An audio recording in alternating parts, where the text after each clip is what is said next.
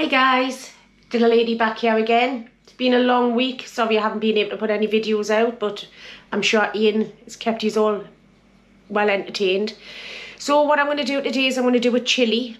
Um, it's not like a chilli with um, kidney beans or anything like that in because I don't like those. So I'll bring you down and I'll show you the ingredients that we've got.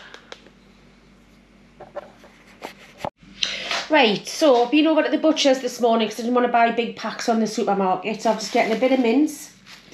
I've got some cubed beef as well because we do like the mixture of the both. I've got some um, smoked bacon there as well. I have a red pepper, which is massive. Um, an onion, two chilies.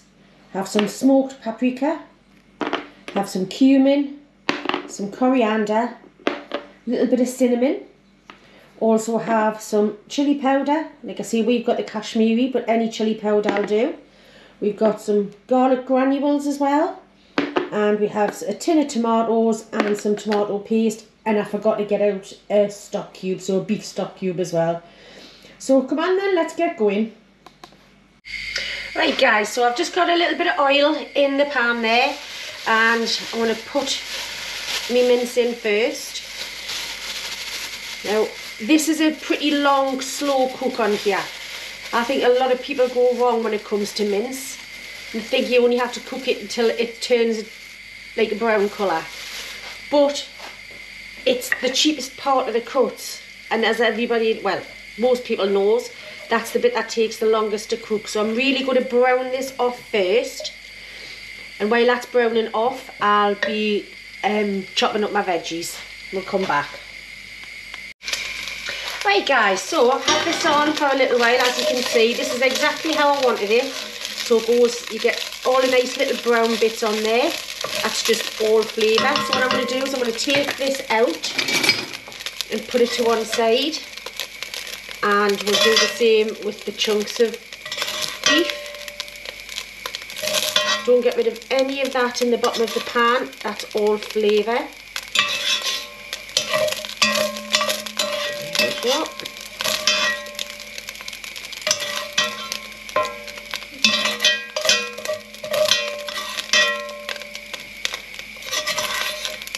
Cracklings.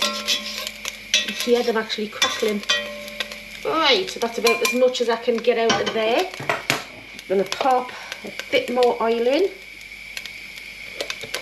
And then we'll get the chunks of beef in there.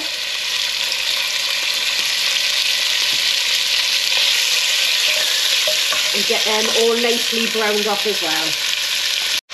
Right guys, so that's that all browned off as well. So I'm just going to take this out and put it the mince.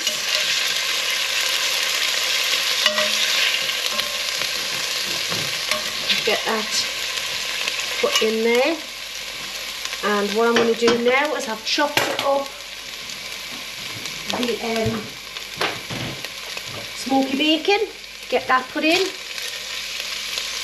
Get that fried off. Again until it's nice and crisp. Might seem a little bit of a chore this bit but it's worth it in the end. And once it goes on this will be cooking for a couple of hours. Um, so once it's actually all put together there's very little that you need to do with it. Give it a stir every now and again.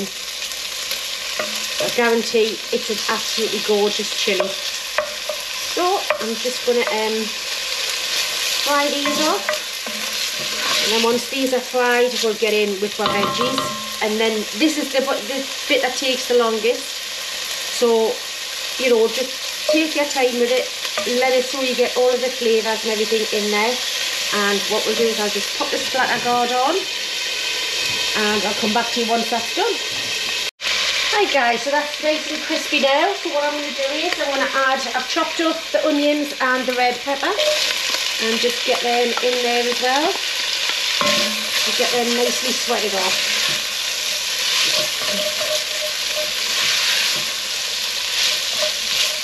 Now I'm not that keen on peppers, but in this, because it is such a long, slow cook, you get the sweetness out of them I mean, Ian loves them. He loves them in a salad.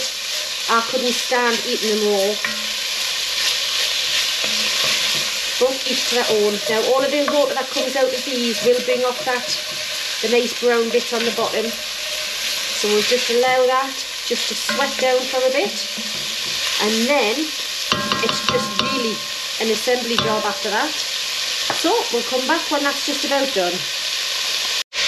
Right guys, so that's been in there for about three or four minutes. As you can see, the started to sweat down. So what I'm going to do is, is I'm going to add the two chopped chilies.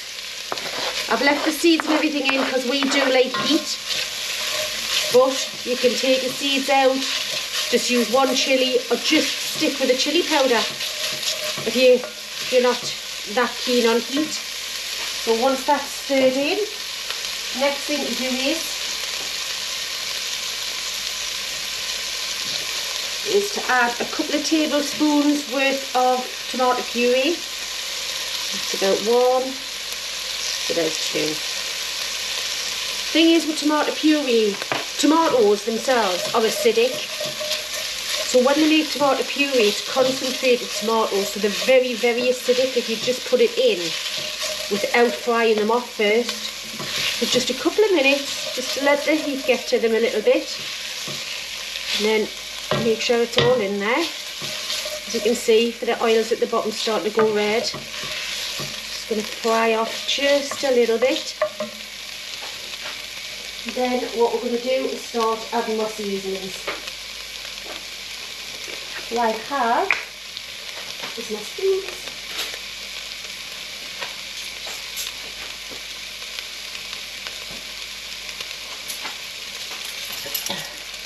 Have a teaspoon, because this isn't a huge batch, teaspoon of coriander.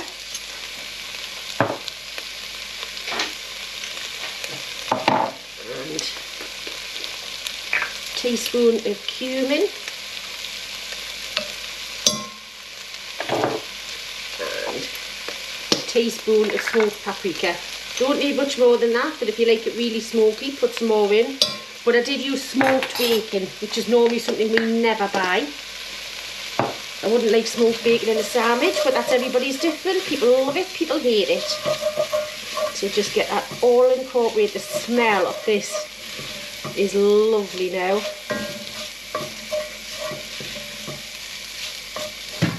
So, I'm going to get about a teaspoon of garlic granules in here.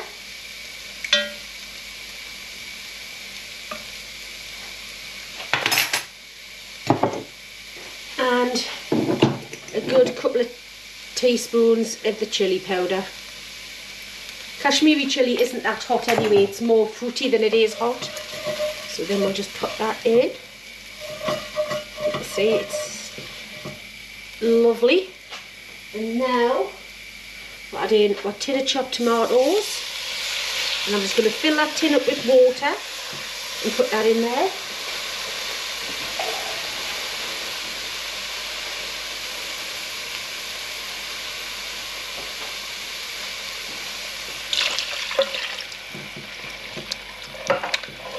And then tomatoes will just break down. Make sure you've got everything in. Right and head back with the meat and any juices that's gone in the bottom of the bowl.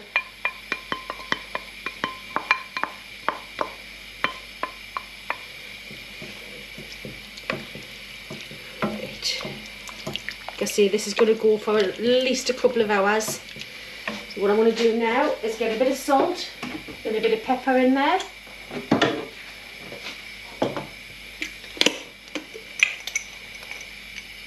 Teaspoon of salt. And a good grind, I mean a good grind of black pepper.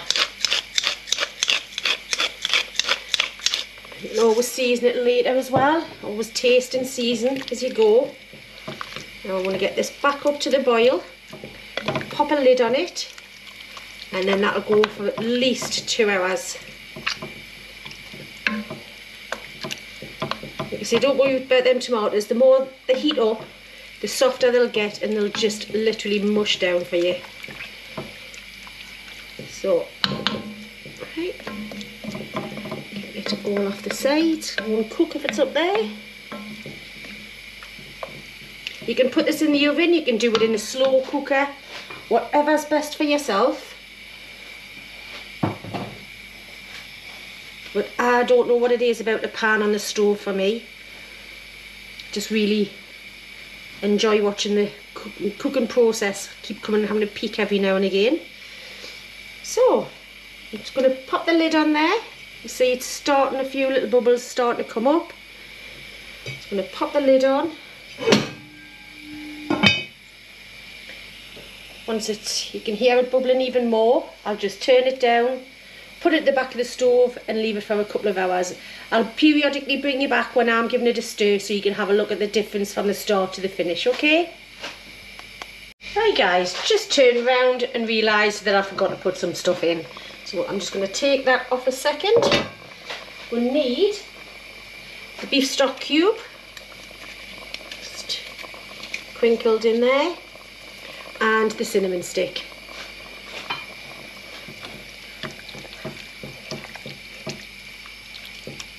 So, now I'm going to put the lid on, turn it down and leave it.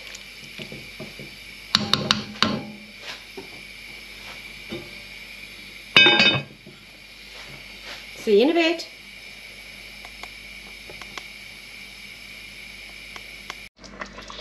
Hey guys, that's had about an hour. As you can see, it's starting to cook all the way down now. I'm going to give it another half an hour with the lid on. And then we'll do about half an hour with the lid off. Just to reduce this the liquid down a little bit. But there's, that's it. That's an hour in. Get the lid on and leave it going.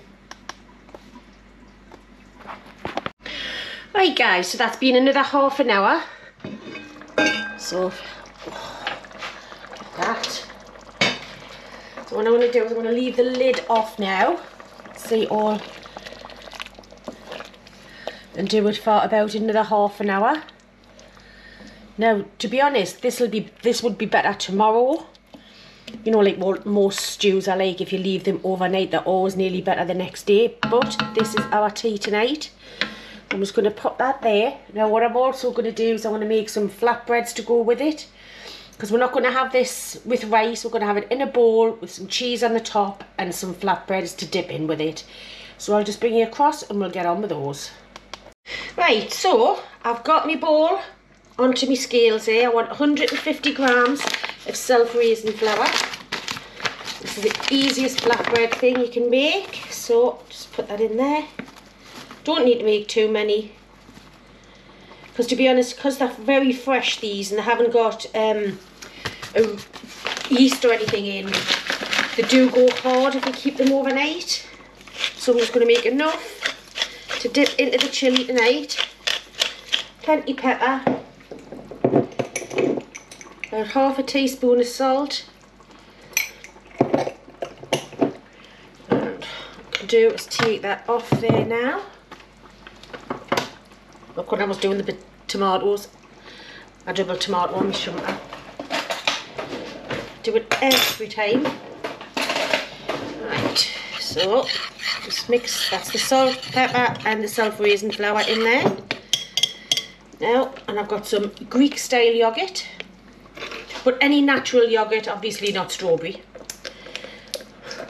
You know, but any natural yoghurt will do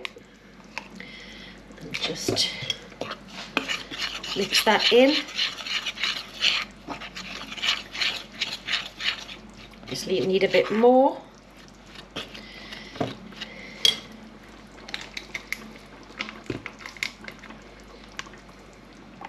I mean, isn't so much a recipe. If you put too much yogurt in, you put a bit extra flour in.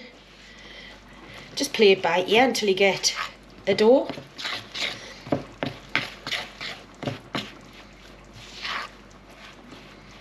Just push it in there because there's a lot of moisture in there.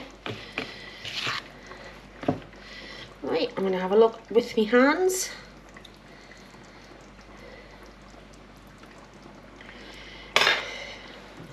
Sleeves up. Yes, quite a bit of moisture in there, so if you just use your hands, bring it together as a door. Look, it's still very sticky. So I think it will in this flour.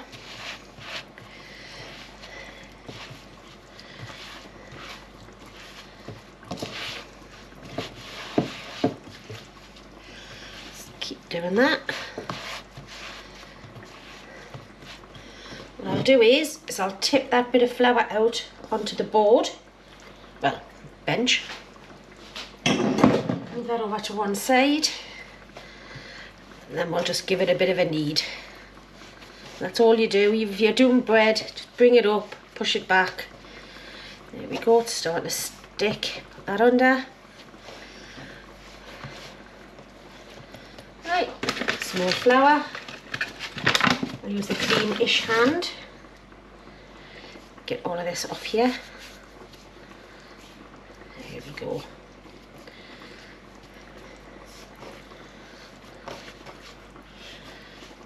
Into a nice smooth ball. That's it. Now I'm just going to leave that there for a few seconds while I wash my hands and then we'll get on with it. Right, so I'm going to roll out the um, the flatbreads now. Now that's the original rolling pin was Ian's mum's and I love it and I'll never get rid of it but when you're doing something pretty long it gets caught on these bits. So Ian's actually bought us one of those. Don't know if you can see it. You can actually get all the measurements and everything on and you can make it smaller. So I've took the, the biggest ones off, which was the green on, on either side. So we'll get them nice and flat. Now it's the first time using this. It has been washed. So what I'm going to do is I'm just going to cut this into four with a butter knife.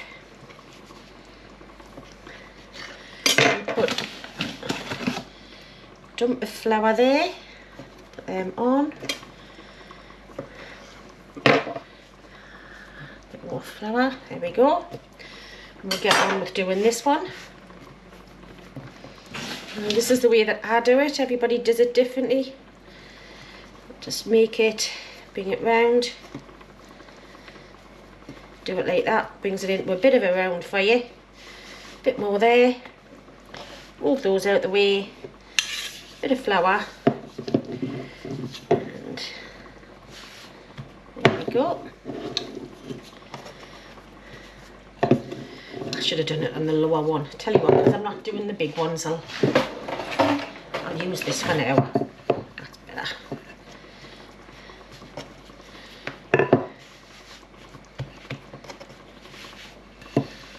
I've got the cast iron pan heating up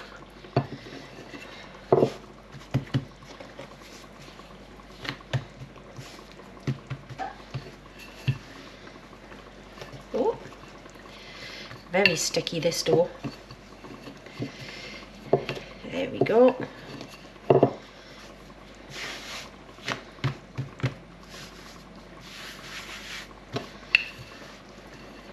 Will puff because it's self-raising flour. That's why I want it pretty thin. Right. I think that's about as, as thin as what I needed to go. What I'll do is I'll just bring these over, let you have a look. So there's that still bubbling away with the lid off. Cast irons on, just going to turn it up a little bit. And then just dump that straight in.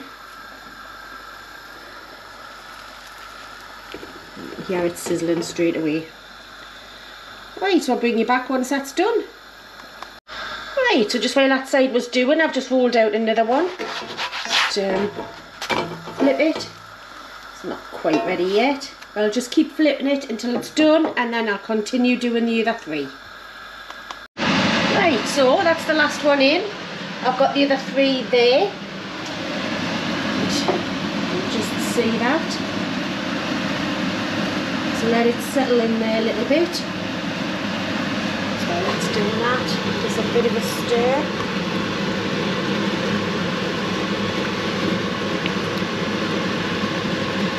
Haven't tasted it yet because I don't know whether it needs any more salt and pepper or chili powder or whatever. And as you can see, you see all the little bubbles coming up, that's the self-raising flour. With the acid from the, the yoghurt that does that. These only take seconds. That's the one side done.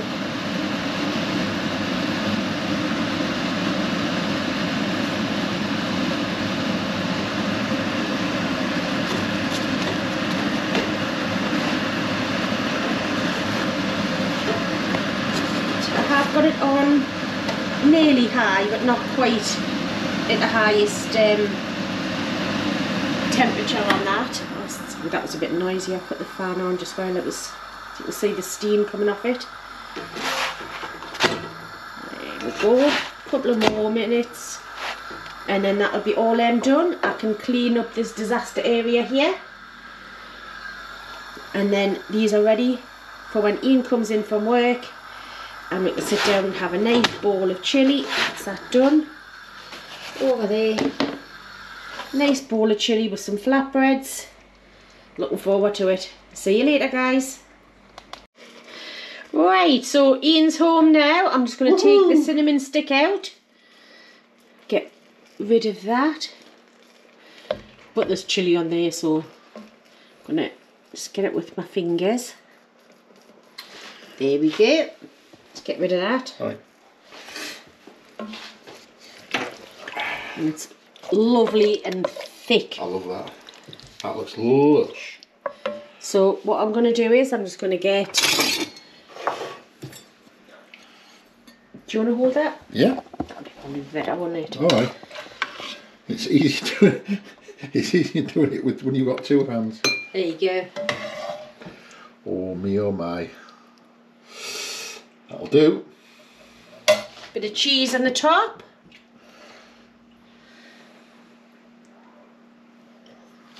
And a nice little flatbread. Nice and soft. Oh yes. pull that in half just to show you. Look at Yummy. that. Do you know what this would be nice with? Nachos. Do it as nachos. On top of nachos. Oh yeah, that chili. Well, we've had that before, haven't we? yeah. You remember when the caravan that time and we had nachos Christ. three days in a row, didn't Yeah. Put on about stone? Yeah. in about two It was absolutely amazing. There you go. So that's my take on a chili without any beans, with some cheese on the top. It's chili with mince and with um, Steak, a proper chili, that way. uh, steak bits and some homemade flatbreads. So Lovely. Ian's just going to give it a bit of a taste now and then we'll come back to you. Cheers, guys. Thank Friday Crunchy. night. Thank Crunchy. It's Friday. Mm-hmm. Nice beer to kick off the evening. So what's that? That's the BrewDog, isn't it? Punk IPA. Mm-hmm. Why not? So I'm gonna have a little sip of this. Just to wet the whistle. right. Tasting time. Let's get some of this down my neck. Gonna get a big everything there, cheese, mince, and a bit of that beef. Lovely.